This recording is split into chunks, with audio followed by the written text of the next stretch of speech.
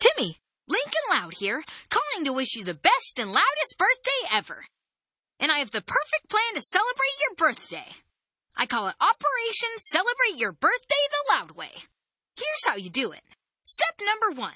Do something with your family, like family game night. Watch out for that one family member that always needs a win, though. Lynn still beats me, even on my birthday. Lynn or Lynner, Lynner, chicken dinner! Step number two. Do something with your friends. One of my best birthdays was playing video games with my best bud Clyde. And step number three. Blow out your candles when you make a wish.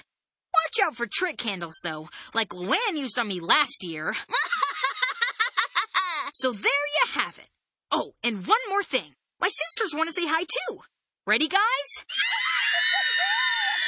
I think what they're trying to say is happy birthday from all of us at the Loud House. Okay, bye, friend.